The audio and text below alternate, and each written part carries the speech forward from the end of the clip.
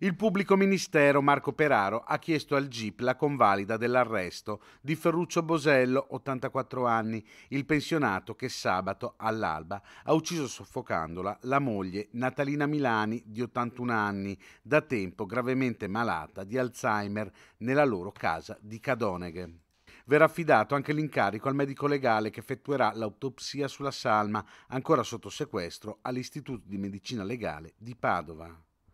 Bosello resta piantonato in ospedale e non ha potuto avere colloqui coi figli. Le sue condizioni sono migliorate.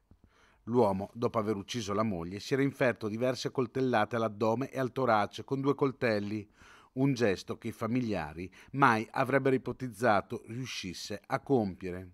Bosello non aveva condiviso con nessuno la sofferenza nel vedere la moglie, con cui era sposato da più di 50 anni, allettata e in gravi condizioni di salute.